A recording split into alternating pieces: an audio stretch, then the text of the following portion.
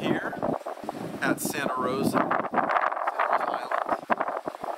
And uh, really robust pier, rebuilt right before the official um, uh, takeover, full, full takeover of the island by the Park Service.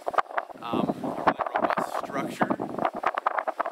A lot of uh, neat opportunities for supporting access and doing uh, uh, research and experiencing this island out here.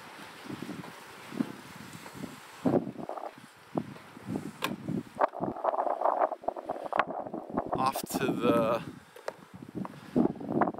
left of the pier over here, this is a protected area. As we look onto this edge of Becher's Bay, as we go to the other side over here to the right and look towards the sand dunes farther over there at Water Canyon, and then obviously the big sand dunes out at Skunk Point. This area right here is outside of